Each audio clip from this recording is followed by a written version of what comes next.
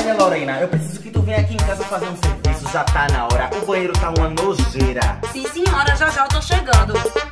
Boa tarde, qual vai ser o serviço de hoje? Eu não te disse no telefone, mulher. Presta atenção. Calma, senhora, fale direito e me explique direito. Lorena, sua burrinha, hoje tu vai limpar o banheirinho. Não peço por favor e não te falo com carinho. Quero que tu vá deixar, deixar tudo limpinho. Tô com tempo esgotado, faça logo seu serviço. Tem calma, amor, fala mais baixinho. Tá alto, eu não gosto, me respeita aí. Pois eu não vou limpar, baby.